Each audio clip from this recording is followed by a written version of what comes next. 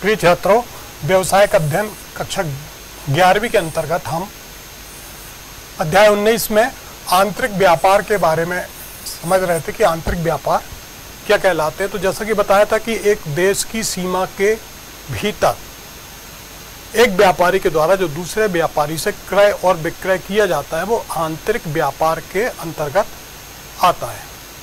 अर्थात इस प्रकार से जैसे कि यदि भारत देश के अंदर विभिन्न प्रांतों के बीच में, गुजरात से महाराष्ट्र या मध्य प्रदेश से केरल या इस प्रकार से एक प्रदेश से दूसरे प्रदेश के बीच में, जब आपसी व्यापार किया जाता है या एक ज़िले के भीतर आपस में व्यापार किया जाता है तो ये सब आंतरिक व्यापार के अंतर्गत आता है। आंतरिक व्यापार को बताया था कि दो भागों में बांटा था, नंबर एक थोक व्यापार और दूसरा फुटकर व्यापार। थोक व्यापार क्या कहलाता है? जिसके अंतर्गत थोक व्यापारी एक या अधिक विशिष्ट वस्तुओं का लेन देन करता है और माल जो है उत्पादक से बड़ी मात्रा में खरीदकर उसे छोटी छोटी मात्रा में विभक्त करके फुटकर व्यापारी को बेचता है। तो थोक व्यापारी का कार्य क्या है? उत्पादनकर्ता से इकट्ठा माल खरीदना विशिष्ट प्रकार का, जो वो सेल करता है। और इकट्ठी मात्रा में माल खरीदना और उसको जो है विभिन्न छोटी छोटी इकाइयों में डिस्ट्रीब्यूट करके बांटकर जो है फुटकर व्यापारियों को बेचता है। साथ में ये माल को बिक्री योग्य बनाने के लिए अन्य कार्य जैसे वस्तु का श्रेणीकरण करता है, प्रमापीकरण करता है और प्रसंस्करण एवं पैकेजिंग आदि का कार्य भी थोक व्यापारी यहाँ पर करता है। तो इस प्रकार से एक थोक व्यापारी, सच्चा थोक व्यापारी जो है, वो उत्पादक तो नहीं है, ना ही फुटकर व्यापारी है। किंतु वो जो है, यहाँ पर उत्पादक और फुटकर व्यापारी के बीच क्या है? एक कड़ी के रूप में, एक पुल के रूप में, एक सेतु के रूप में कार्य करता है, वो कहलाता है थोक व्यापारी।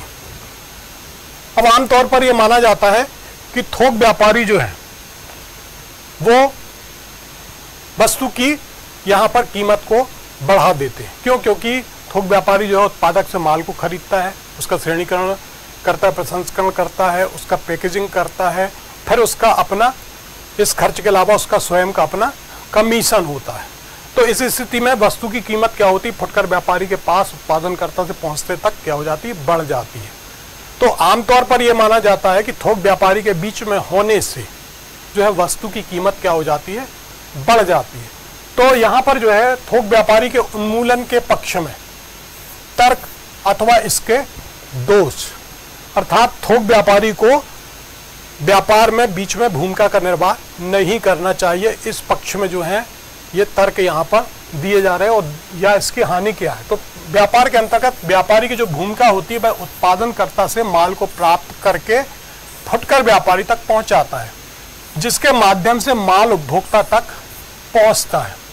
यहाँ पर मानना है कि ये उत्पादनकर्ता व उपभोक्ता के बीच जो है एक अनावश्यक कड़ी है, अर्थात उत्पादनकर्ता और फुटकर व्यापारी उसके बाद उपभोक्ता के बीच में ये एक अनावश्यक कड़ी है जिसको नहीं होना चाहिए। इनको खत्म, अर्थात इनका जो है उन्मूलन कर देना चाहिए। ये क्या है? क्योंकि माल का संग्रह करके उसमें अपने लाभों को जोड़कर कीमतों में वृद्धि कर देते हैं। यहाँ पर जो थोक व्यापारी जो है, फुटकर व्यापारी को माल बेचने के लिए अपने पास जो है माल को संग्रहित करके रखता है। और उसमें जो है अपना लाभ भी जोड़ देता है और जब उसका लाभ जुड़ जाता है तो इससे क्या होती कीमतों में वृद्धि हो जाती है। और वहीं जो है अनुचित रूप से भी संग्रहण करके बाज़ार में जो है वो वस्तु की कमी को पैदा करता है, आपूर्ति को प्रभावित करता है। इससे भी क्या होता है कि वस्तु की कीमत यहाँ पर वो बढ़ा देता है। जबकि कुछ का मत है कि थोक व्यापारी जो है उत्पादक, उपभोक्ता एवं फुटकर व्यापारी के प्रति अनेक सेवाएँ प्रदान करते हैं। अतः इनका समाप्त किया जाना या उन्मूलन जो है किसी भी दृष्टि से उचित नहीं है।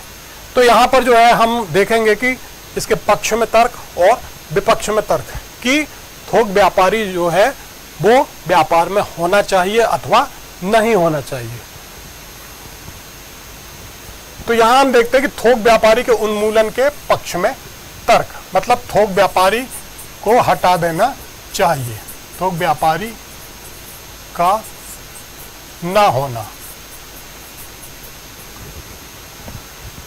अब यहाँ पर जो है इसके पक्ष में तर्क है, यदि थोक व्यापारी यहाँ पर जो है इसको हटा देना चाहिए। ये क्यों करता है? क्योंकि वस्तुओं के मूल्य में वृद्धि होती है।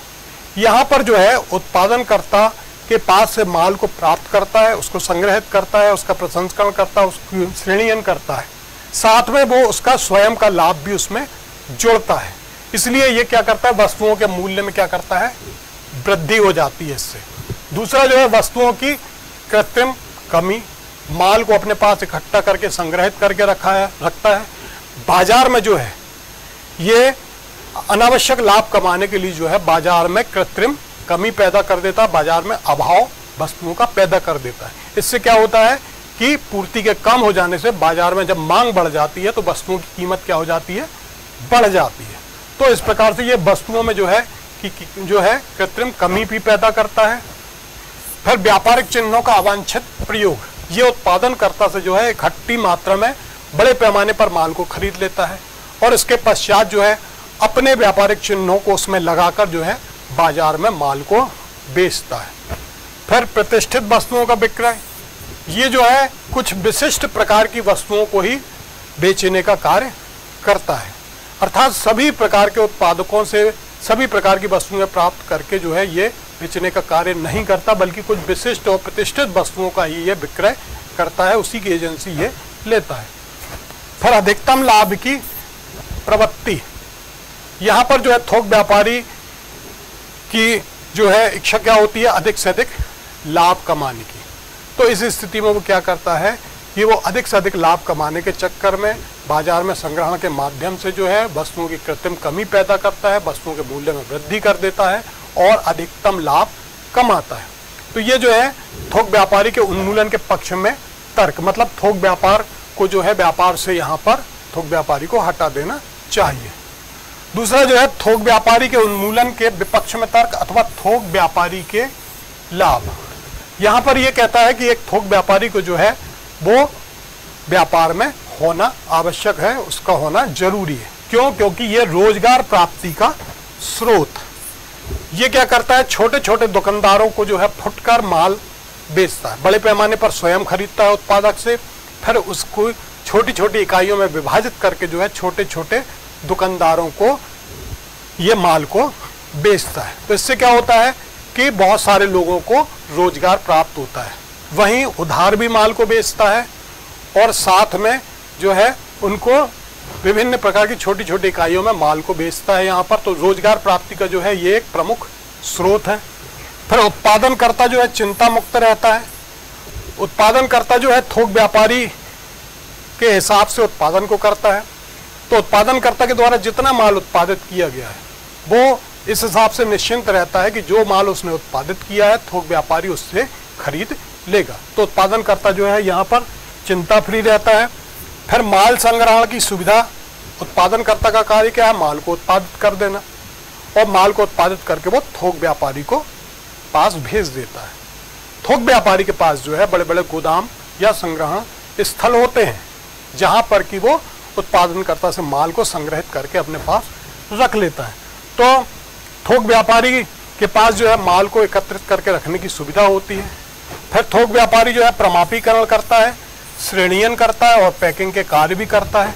बड़े पैमाने पर माल को सीधा सीधा लार्ज स्केल पर खरीदता है। उसको मापीकरण करता है, उसको अलग अलग भागों में बांटता है अलग अलग श्रेणीकरण करता है और फिर छोटे छोटे भागों में अलग अलग पैकिंग करने का भी कार्य यहाँ पर करता है, जो कि उत्पादन करता नहीं करता। ये सारा कार्य करता है थोक व्यापारी। फिर अंतिम जो है भावी मांग की जानकारी। चूँकि थोक व्यापारी जो है, फुटकर व्यापारी से सीधा जुड़ा होता है। और फुटकर व्यापारी जो है, वो से जुड़ा होता है। तो भुगताओं के माध्यम से फुटकर व्यापारी को जानकारी प्राप्त होती है मांग के संबंध में, और फुटकर व्यापारी के द्वारा थोक व्यापारी जो है, मांग की पूर्ण जानकारी प्राप्त करके उत्पादनकर्ता से वो माल को उस हिसाब से उत्पादित करवाता है। तो यहाँ पर हम देखते हैं कि जहाँ पर एक और मानते हैं कि थोक व्यापारी को जो है, व्यापार में नहीं होना चाहिए। वहीं दूसरी वो जो तर्क हैं कि उसके होने से हमें लाभ भी यहाँ पर हैं। तो ये थोक व्यापारी के पक्ष और विपक्ष में जो तर्क है, इसके बाद जो दूसरा बिंदु है ये, प्रकार वो है फुटकर व्यापार। फुटकर व्यापार जैसा कि हम जानते हैं कि जो माल को फुटकर रूप में भेजते हैं, जिनको हम रिटेल शॉप कहते हैं, या जो व्यापारी होते हैं, वो कहलाते हैं रिटेलर। तो यहाँ पर जो है, वितरण की प्रक्रिया में फुटकर व्यापारी अंतिम कड़ी के रूप में सामने आता है। अर्थात उपभोक्ता तक माल पहुँचाने के रूप में ये फुटकर व्यापारी अपना कार्य करता है। जो संगठन या व्यक्ति के माल को उसके अंतिम उपभोक्ता को बेचता है, वह फुटकर व्यापारी की श्रेणी में आता है। उत्पादनकर्ता से जो माल उत्पादित होता है, थोक व्यापारी से होता हुआ जो फुटकर व्यापारी के पास आता है और फुटकर व्यापारी द्वारा जो उस माल को अंतिम रूप में उपभोक्ता को बेचा जाता है, वो कहलाता है यहाँ पर बीच में फुटकर व्यापारी। थोक व्यापारी तथा उपभोक्ता के मध्य ये कड़ी के रूप में होता है, जो वस्तु को उपभोक्ता तक पहुँचाने में मदद करता है। तो इस प्रकार से जो सर्किल है उत्पादन उसके बाद थोक व्यापारी, उसके बाद ये फुटकर व्यापारी और फिर यहाँ पर ये उपभोक्ता। उपभोक्ता। तो इस प्रकार से हम देखते हैं कि माल जो उत्पादित जब होता है, थोक व्यापारी के पास आता है, थोक व्यापारी से फिर फुटकर व्यापारी के पास, और फुटकर व्यापारी के पास से फिर वो अंतिम उपभोक्ता तक माल पहुँचता है। तो यहाँ पर फुटकर व्यापारी में सब क्रियाएँ सम्मिलित होती हैं, जिनका अंतिम उपभोक्ता को व्यक्तिगत गैर व्यवसायिक उपयोग हेतु विक्रय से संबंधित है। तो फुटकर व्यापारी में सभी क्रियाएँ सम्मिलित हैं, जो अंतिम रूप से उपभोक्ताओं को बेची जाती हैं और उपभोक्ता यहाँ पर जो है, वो बगैर व्यवसायिक उपयोग किए हुए स्वयं के लिए उपयोग करता है, व्यक्तिगत रूप से उपयोग करता है, अर्थात वो उपभोक्ता को। उसके व्यक्तिगत तौर पर गैर व्यवसाय उपयोग हेतु उसको माल को बेचा जाता है। मैकार्थी के अनुसार जो है, गृहस्थ को अंतिम उपभोक्ता वस्तुओं का विक्रय जो है, वो फुटकर व्यापार है। तो ये जो है, फुटकर व्यापार की परिभाषा अब इसकी जो विशेषताएँ हैं, किस आधार पर हम इसको मानेंगे कि ये फुटकर व्यापार है। तो फुटकर व्यापारी वही है, जो अंतिम उपभोक्ता को विक्रय करता है। अर्थात जो वस्तु का उपभोग करता है उसको जब माल बेचा जाता है तो वो फुटकर व्यापारी के अंतर्गत आता है। फिर दूसरा जो है, विभिन्न प्रकार की वस्तुओं का माल। विभिन्न प्रकार के माल या विभिन्न प्रकार की वस्तुएँ। अब फुटकर व्यापारी वो होता है जो विभिन्न प्रकार की बहुत सारी हमारी दैनंदिनी की आवश्यकताओं की वस्तुओं को रखता है। जैसे टूथपेस्ट, साबुन, तेल, वॉशिंग पाउडर कंगी बहुत सारी जो हम दैनंदिनी में जो है, हम बहुत सारी चीज़ों को यूज़ करते हैं और जिन्हें हम छोटी छोटी मात्रा में खरीदते हैं। तो ये सारी हमारी आवश्यकता की वस्तुएँ जो हम छोटी छोटी मात्रा में खरीदते हैं। किराना हो गया, शक्कर हो गई, जो ये सभी चीज़ें जो है, वो फुटकर व्यापारी अपने पास रखता है। फिर तीसरा है, सेवा व संतुष्टि पर बल। चूँकि यहाँ पर फुटकर व्यापारी का उपभोक्ता से डायरेक्ट संपर्क होता है तो जब तक उपभोक्ता उसकी सेवा से संतुष्ट नहीं हो जाता, तब तक वो उस फुटकर व्यापारी से माल को नहीं खरीदता।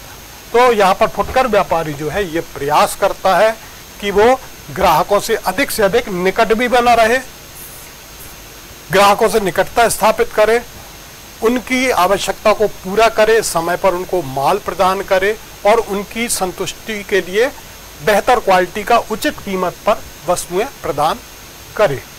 फिर अंतिम है, वस्तुओं का अन्य स्रोतों से क्रय। यहाँ पर जो है फुटकर व्यापारी जो है, विभिन्न प्रकार की वस्तुओं का अलग अलग स्रोतों से माल को खरीदता है, एकत्रित करता है। ज़रूरी नहीं है कि एक ही थोक व्यापारी से वो माल को खरीदे। अलग अलग विशिष्ट प्रकार की वस्तुओं को जो है अलग अलग विशिष्ट प्रकार के थोक व्यापारियों से वो उन वस्तुओं को कर, खरीद सकता है। तो फुटकर व्यापारी की ये विशेषताएँ हैं। फिर इसके कार्य हैं, फुटकर व्यापारी के। सबसे पहला कार्य क्या है? विभिन्न वस्तुओं का एकत्रीकरण, उपभोक्ताओं की आवश्यकता अनुसार जो जो उपभोक्ताओं के लिए ज़रूरी आवश्यक वस्तुएँ सामग्री है, उन सबको क्या करता है? एकत्रित करके छोटी छोटी इकाइयों में, अपनी शॉप में, दुकान में सजाकर रखता है, एकत्रीकरण करता है। फिर उपभोक्ताओं की मांग का अनुमान लगाना।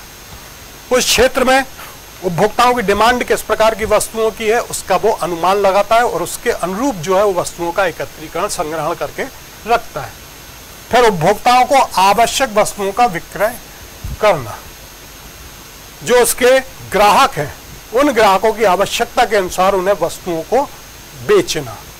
फिर उपभोक्ता मांग पूर्ति हेतु आवश्यक संग्रह करना। यहाँ पर जो है समय समय पर उपभोक्ता जिस प्रकार की वस्तुओं की मांग करते हैं उसकी पूर्ति के लिए वो जो है आवश्यक रूप से अपने पास संग्रहित करके माल को रखता है।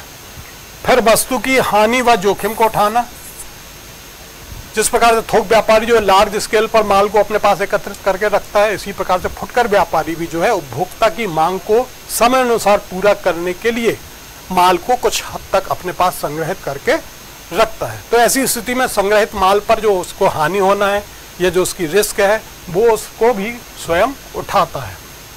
फिर मांग में परिवर्तनों का अध्ययन कर, थोक व्यापारी के माध्यम से उत्पादनकर्ता तक सूचना पहुंचाना। उपभोक्ता की मांग में यदि किन्हीं कारणों से परिवर्तन होता है, उनकी रुचि के कारण, फ़ैशन के कारण, मौसम के कारण, या विभिन्न किसी परिस्थितियों के कारण मांग में चेंजेज आते हैं, परिवर्तन आता है तो वो इसकी जानकारी जो है, थोक व्यापारी के माध्यम से उत्पादनकर्ता तक पहुंचाता है। फिर उपभोक्ता को नई नई वस्तुएँ उपलब्ध कराना। जो भी उत्पादनकर्ता के द्वारा नई नई वस्तुएँ बाज़ार में लॉन्च की गई हैं, लाई गई हैं, उन नई वस्तुओं को जो है उपभोक्ताओं तक पहुंचाना, उसकी जानकारी पहुंचाना। और अंतिम है वस्तु के चुनाव में उपभोक्ता की मदद करना।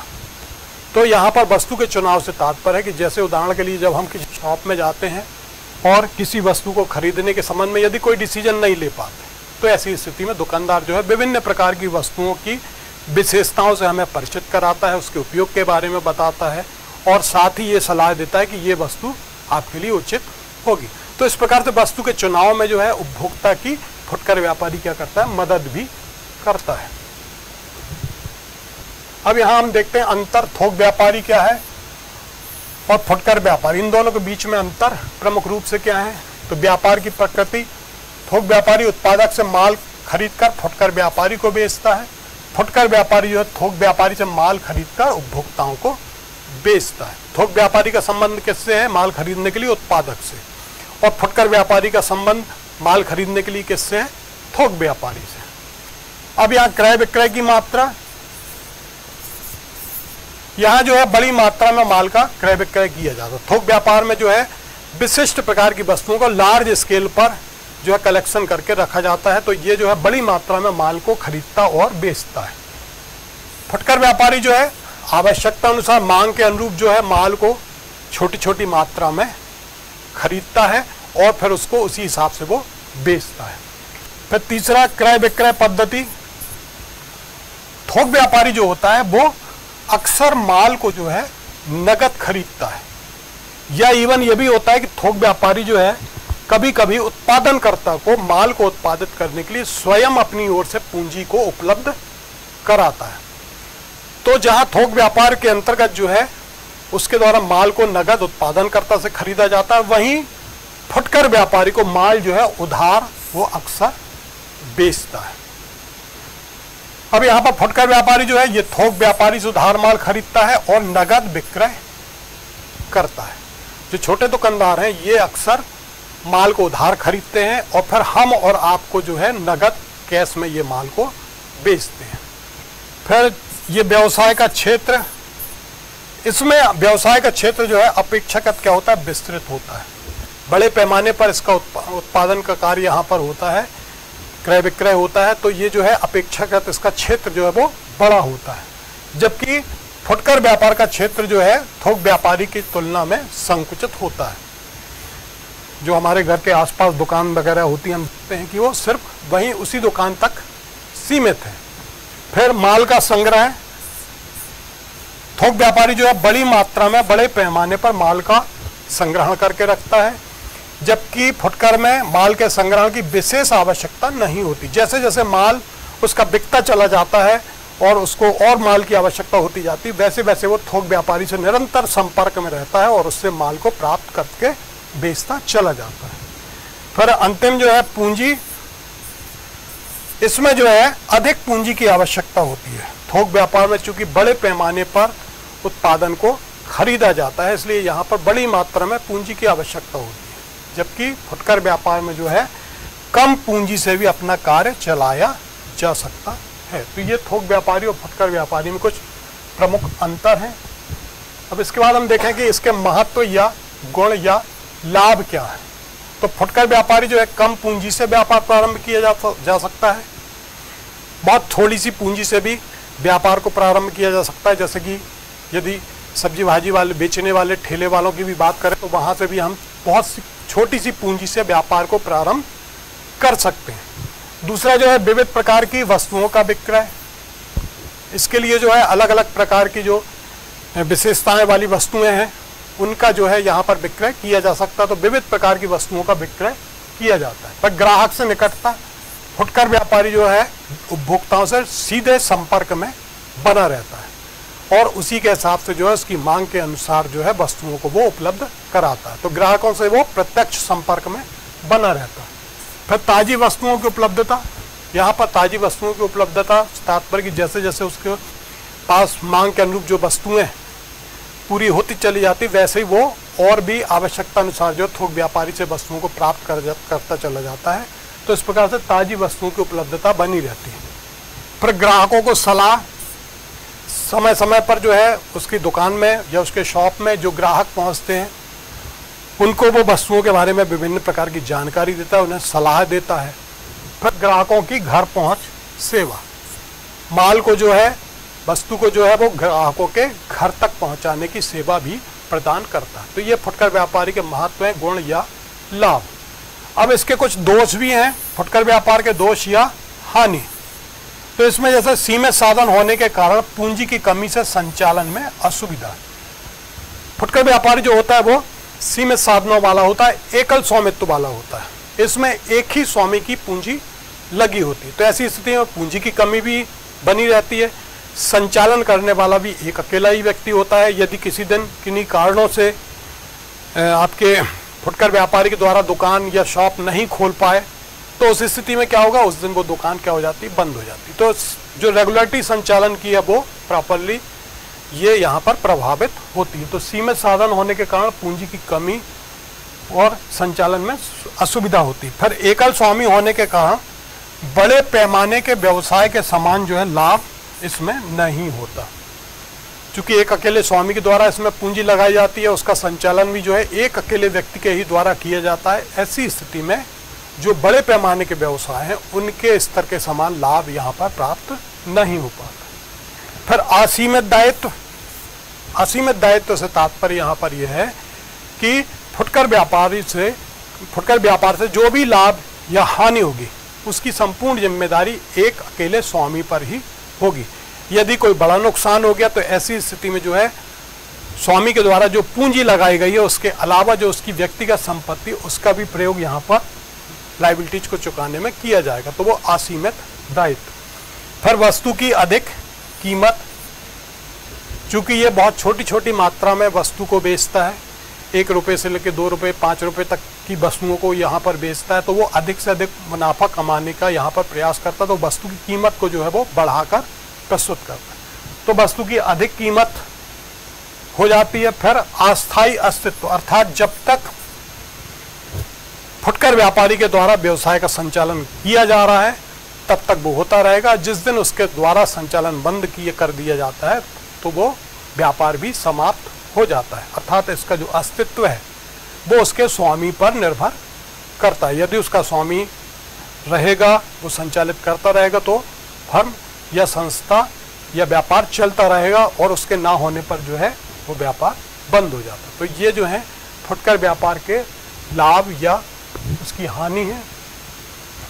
कुछ प्रश्न है, थोक व्यापारी की समाज में क्या आवश्यकता है? इसकी आवश्यकता के पक्ष में और विपक्ष में तर्क दीजिए। फुटकर व्यापारी से आशा है उसकी विशेषताओं को समझाइए। और फुटकर व्यापारी के प्रमुख कार्यों को समझाइए। चौथा, थोक व्यापारी एवं फुटकर व्यापारी में अंतर स्पष्ट कीजिए। पांचवा, फुटकर व्यापार के महत्व, लाभों तथा उसके दोषों या हानियों को समझाइए।